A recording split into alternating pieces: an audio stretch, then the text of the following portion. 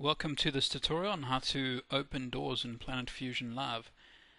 What we're going to do is just click on the on the door that we're wanting to, to open the door of and click information button. Then we go to this third little cupboard icon which is show the object's drawing parameters. Click on that and it will show you here door open. You can also open drawers and so forth. If it's got drawer open uh, you can do that. For now we're just going to open this door. We'll make it 400 and press enter. And you'll notice here that it will render and show you this door open. You can see the inside of it and and all the details there.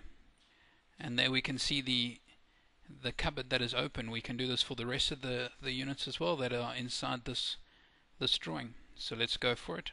Carry on click on it. It automatically is on the information button in this third tab which is the parameters tab. Let's make it 400 again enter and then we'll go on the last one as well.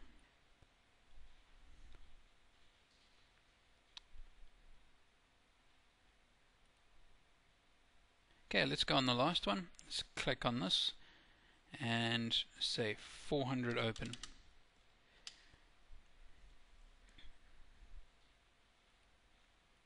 And there we have our, our three cupboard doors that are, are open for us to see.